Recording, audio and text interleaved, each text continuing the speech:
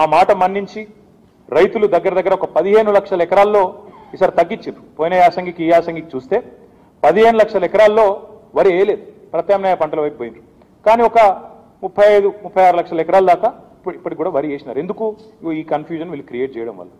మేము ఒకటి చెప్తే వీళ్ళు ఒకటి చెప్పి రైతులను అనవసరంగా రెచ్చగొట్టి వీళ్ళు కొనరు కొనరు కొనరు అని మేము మెత్తు మొత్తుకోంగా. మేము నెత్తునోరు బాదుకోంగా.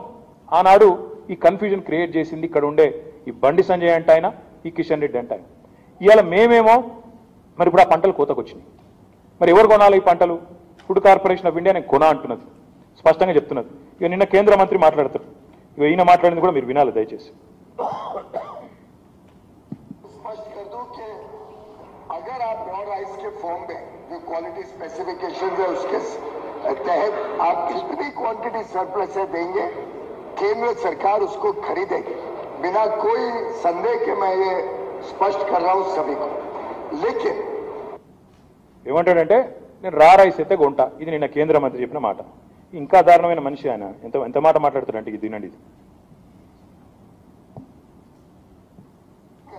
कि समझना ही नहीं है तो ना समझ के बारे में तो मेरे पास कोई इलाज नहीं है ఏమంటాడంటే అదే స్పీచ్లో నిన్న కేంద్ర మంత్రి పీయూష్ గోయల్ ఏమంటాడంటే నా సమజ్ కే బారే మే నా సమజ్ కే లియే తో మేరే పాస్ కుచ్ హై నీ అంటే తెలివి తక్కువల గురించి తెలివి తక్కువల గురించి నేను చెప్పేదేం లేదు. నేను చెప్పేది చెప్తున్నా స్పష్టంగా చెప్తున్నా.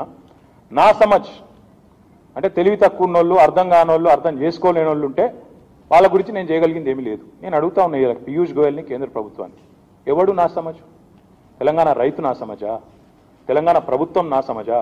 లేక నీ బుర్ర తక్కువ బుద్ధి తక్కువ నీ బండి సంజయ్ అనే ఒక దౌర్భాగ్యుడు కిషన్ రెడ్డి అనే ఒక పనికిమాలిన మంత్రి వాళ్ళు నా సమజ ఎవరు ఎవరినంటావు నువ్వు?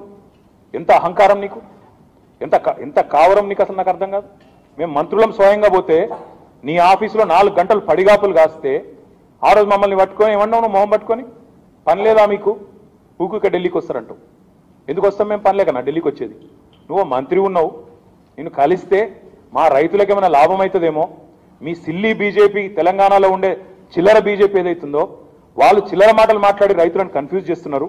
నువ్వన్న సక్క చెప్పవా అని మేము ఒకసారి అదిగో ఇదే ప్రశాంత్ రెడ్డి గారు ఇదే దయాకర్ రావు గారు గంగుల కమలాకర్ గారు ఇదే శ్రీనివాస్ గౌడ్ గారు ఐదు ఆరు వారం రోజులు ఉన్నాం అక్కడ.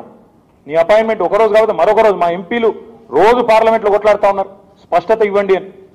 నా సమజ్ అని మాట్లాడతాడు. నిన్న మళ్ళీ దారుణంగా ఇంకా దారుణంగా.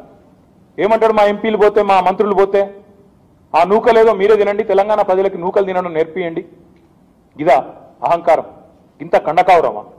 ఇంత మాట్లాడతారా నోటికొచ్చినట్టు?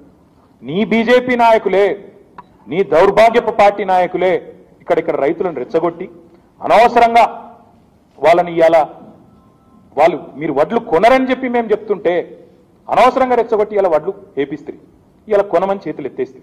మరి ఇలా పరిస్థితి కారణం ఎవరు? కేంద్ర ప్రభుత్వం తీసుకుంటుందా బాధ్యత? నిన్న మొన్నటిదాకా బీరాలు బలికిన ఈ దౌర్భాగ్యులు తీసుకుంటారా? కొంటాం మీరు వేయండి ముఖ్యమంత్రికి సంబంధం లేదు. రాష్ట్ర ప్రభుత్వానికి సంబంధం లేదు. అని డైలాగులు కొట్టిన దౌర్భాగ్యుడు తీసుకుంటాడా? ఎవరు తీసుకుంటారు?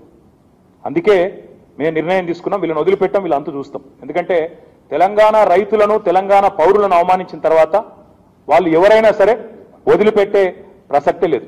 అందుకే ఏం చేసినాము? మళ్ళొకసారి కేంద్ర ప్రభుత్వం తెలవాలి ఇక్కడ వాస్తవిక పరిస్థితి క్షేత్రస్థాయిలో ఉన్న పరిస్థితి తెలవాలన్న ఉద్దేశంతో రాష్ట్రంలోని ప్రతి గ్రామ పంచాయతీ పన్నెండు వేల ఏడు వందల అరవై తొమ్మిది గ్రామ పంచాయతీలు ఉంటే ప్రతి గ్రామ పంచాయతీ నుంచి తీర్మానం చేసి పంపించినాం. మొత్తం తీర్మానాల కాపీలు ప్రధానమంత్రికి పీయూష్ గోయల్కి పంపించినాం. ఏమని? ఖచ్చితంగా యాసంగిల వడ్లు కొంటమన్నారు మీరు కొని తీరాల్సిందే. మీ నాయకులే చెప్పిండ్రు మీ రాష్ట్ర బీజేపీ అధ్యక్షుడు చెప్పిండు మీ కేంద్ర మంత్రి కిషన్ రెడ్డి చెప్పిండు బాయిల్ రైస్ కొంటాం రా రైస్ కొంటాం అన్ని కొంటాం అని చెప్పిండ్రు. మిమ్మల్ని నమ్మి వేసినాం. మరి కొనండి అని ప్రతి గ్రామ పంచాయతీ తీర్మానం చేసింది. తర్వాత ప్రతి మండల పరిషత్తులో తీర్మానం చేసి పంపించినాం. ప్రతి మున్సిపాలిటీలో తీర్మానం చేసినాం. రాష్ట్రంలో నూట నలభై ఒక్క మున్సిపాలిటీలు హైదరాబాద్ మినహాయించి నూట నలభై ఒక్క మున్సిపాలిటీలో తీర్మానం చేసి పంపించినాం. ముప్పై రెండు జిల్లా పరిషత్లు ఉంటే ముప్పై రెండు జిల్లా పరిషత్లు తీర్మానం చేసి పంపించినాం. రాష్ట్రంలోని స్థానిక ప్రభుత్వాలు ఏవైతే ఉంటాయో గ్రామ పంచాయతీలు మండల పరిషత్లు జిల్లా పరిషత్లు మున్సిపాలిటీలు ప్రతి దగ్గర నుంచి తీర్మానం చేసినాం. రాష్ట్రంలో ఉండే పదకొండు వందల పైచిలకు సహకార ప్రాథమిక వ్యవసాయ సహకార సంఘాలు పిఎస్సిఎస్లు ప్రైమరీ అగ్రికల్చర్ కోఆపరేటివ్ సొసైటీస్ వాళ్ళు తీర్మానాలు చేసి పంపించినారు. రాష్ట్ర రైతుల పక్షాన రాష్ట్రంలోని లక్షలాది మంది రైతుల మనోభావాల పక్షాన మనోభావాలను తెలియజెప్పాలన్న ఉద్దేశంతో వారికి పీయూష్ గోయల్ గారికి భారత ప్రధానమంత్రి నరేంద్ర మోడీకి తీర్మానాల ప్రతులు పంపించినాం. రిక్వెస్ట్ చేసినాం. అయ్యా ఇగో మీరే చెప్పినారు మరి వేసినాం. కొనండి ఇప్పుడు ఆదేశం ఇవ్వండి ఫుడ్ కార్పొరేషన్ ఆఫ్ ఇండియాకి కానీ తీర్మానాలు పంపించి ఇప్పటికి దాదాపు నాలుగు ఐదు ఆరు రోజులు అవుతాను ఇక పంటలు కోతలకు వచ్చే టైము ఇంకో వారం పది రోజులు అయితే పంటలు కోతలకు వచ్చే టైం వస్తూ ఉంది. అందుకే మరి ఉలుకు పలుకు లేదు. దున్నపోతు మీద వానబడ్డ చందంగా ఈ కేంద్ర ప్రభుత్వ వ్యవహారం ఏదైతే ఉన్నదో దీన్ని ఎండగట్టాలి అని చెప్పి టీఆర్ఎస్ పార్టీ పరంగానే నిర్ణయం తీసుకున్నాం. తెలంగాణ రైతులను అవమానించిన ఈ పార్టీ ఏదైతే ఉందో భారతీయ జనతా పార్టీ. తెలంగాణ ప్రజలను అవమానించిన భారతీయ జనతా పార్టీ. నూకలు తినండి నూకలు తినిపించడం నేర్పియండి అని మాట్లాడే మాటలు. ఇష్టం వచ్చినట్టు మీకు పని లేదా? అని చెప్పి మా మంత్రులను అవమానించే విధంగా రైతుల పక్షాన పోయిన మంత్రుల్ని మీకు పని లేదా ఢిల్లీ కూరుకూరికే వస్తున్నారు ఇక్కడ పడిగాపులు కాస్తున్నారు అని అవమానించే విధంగా మాట్లాడిన మాటలు అన్నింటికీ మించి అన్నింటికీ మించి లక్షలాది మంది రైతుల ఉసురు పోసుకునే విధంగా వాళ్ళను రెచ్చగొట్టి మాయమాటలు చెప్పి రాష్ట్ర ప్రభుత్వం విజ్ఞప్తి చేస్తే ఆ విజ్ఞప్తిని పూర్తి స్థాయిలో రై- రైతులలో ఒక అయోమయాన్ని సృష్టించి వాళ్ళు వడ్లేసే విధంగా ఇవాళ రెచ్చగొట్టే మాటలు మాట్లాడిన దానికి ఇవన్నీ కూడా ప్రజల ముందు బయటపెట్టి ఇప్పుడు నేను బయటపెట్టిన వీడియోలన్నీ మళ్ళీ ప్రజల ముందు బయటపెట్టి ఏం పరిస్థితి ఈ పరిస్థితి ఎందుకు వచ్చింది అనేది ఎండగట్టాలన్న ఉద్దేశంతో టీఆర్ఎస్ పార్టీ పరంగా ఒక ఉద్యమ కార్యాచరణ తీసుకుంటా ఉన్నాం ఒక యాక్షన్ ప్రోగ్రామ్ తీసుకుంటా ఉన్నాం. దానిలో భాగంగా మొట్టమొదటిది ఎల్లుండి నాలుగో తారీఖు నాడు రాష్ట్రంలోని అన్ని మండల కేంద్రాల్లో రైతులు టీఆర్ఎస్ పార్టీ తరఫున టీఆర్ఎస్ పార్టీ శిబిరాలే ఉంటాయి టీఆర్ఎస్ పార్టీ నాయకత్వమే ఉంటుంది. రైతులు పెద్ద ఎత్తున పాల్గొంటారు. నిరసన దీక్షలు ప్రతి మండల కేంద్రంలో ఉంటాయి. నిరసన దీక్షలు నాలుగు తారీఖు నాడు అన్ని మండల కేంద్రాల్లో నిరసన దీక్షలు చేపట్టాలి. ఇందులో రాష్ట్ర వ్యాప్తంగా ఉండే రైతన్నలు కూడా మేము విజ్ఞప్తి చేస్తా ఉన్నాం. ఇది మీకోసం టీఆర్ఎస్ పార్టీ చేస్తున్న పోరాటం. రైతు బంధు ఇచ్చిన నాయకుడు రైతు బీమా తెచ్చిన నాయకుడు డెబ్బై ఐదేళ్ళలో ఏ ముఖ్యమంత్రి ఈయనంత ధీమా ఇచ్చిన నాయకుడు కేసీఆర్ ఇరవై నాలుగు గంటల కరెంట్ ఇచ్చిన నాయకుడు కాళేశ్వరం లాంటి ప్రపంచంలోనే అతిపెద్ద లిఫ్ట్ ఇరిగేషన్ ప్రాజెక్టును మీకోసం నాలుగేళ్ళలో కట్టిన నాయకుడు. చెరువులన్నింటినీ పూర్వవైభవం తెచ్చే విధంగా మిషన్ కాకతీయ తెచ్చిన నాయకుడు రైతుకు నీటి తీరువా మాఫీ చేసిన నాయకుడు రైతుల కోసం ఎంత దూరమైన పోవడానికి సాహసించే నాయకుడు కేసీఆర్.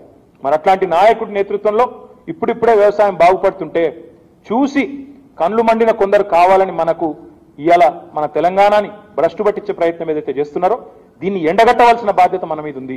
అందుకే రాష్ట్రంలోని రైతన్నలు కూడా నాలుగో తారీఖు నాడు అన్ని మండల కేంద్రాల్లో జరిగే నిరసన దీక్షలో దయచేసి వారు కూడా పాల్గొనాలని చెప్పి కూడా నేను విజ్ఞప్తి చేస్తా ఉన్నా.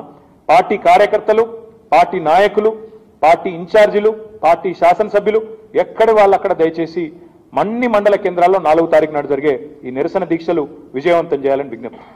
నాలుగు తారీఖు తర్వాత ఒక రోజు విరామం ఆ తర్వాత మళ్ళీ ఆరు తారీఖు నాడు. నాలుగు జాతీయ రహదారులు ప్రధానమైన జాతీయ రహదారుల మీద నిరసన కార్యక్రమాలు రాస్తారు ఒక చేయబోతా ఉన్నాం.